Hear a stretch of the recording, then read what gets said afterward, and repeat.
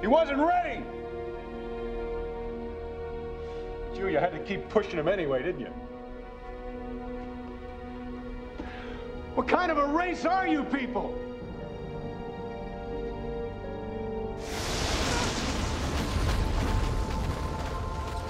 I am Jor-El, the true father of Kal-El. His name is Clark Kent. I am his father. I raised him. You have fulfilled your function in Kal-El's destiny. His destiny is whatever he makes of it. His destiny is too great for you to comprehend. This was Kal-El's first test to see if he was ready to begin his journey. He's too young. He needs more time. This phase of Kal-El's journey is almost complete. It will be of no consequence if he returns to you, for now. You'll bring him home? If you want him, you must retrieve him yourself. I can't. He's too powerful.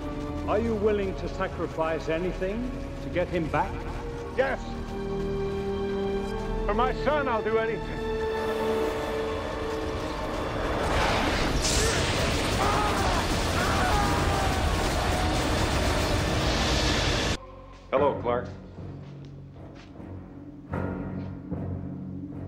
Jonathan Kent. Isn't it a little past your bedtime? How'd you find me? Your biological father? You two are working together now, huh? That's cute.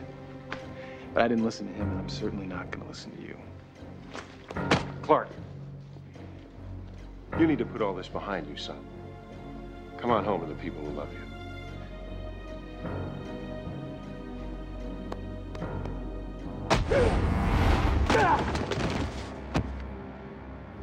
You should have stayed in Smallville.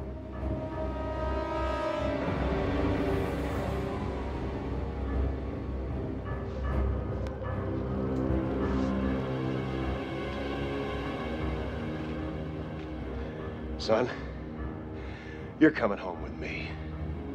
Now.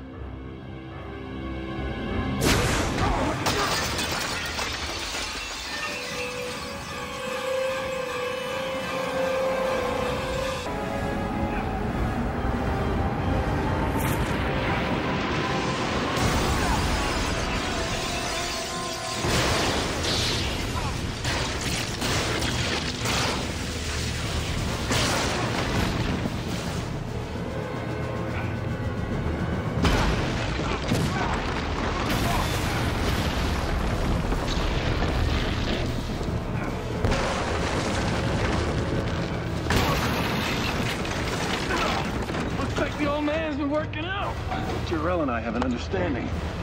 I'm taking you home. I don't care what he's done to you. You're not taking me anywhere.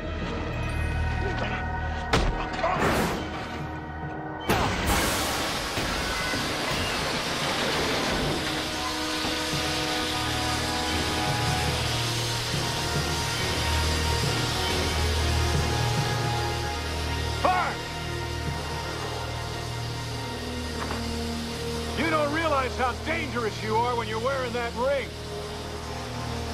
It's not the ring. I was born that way. You just can't accept it.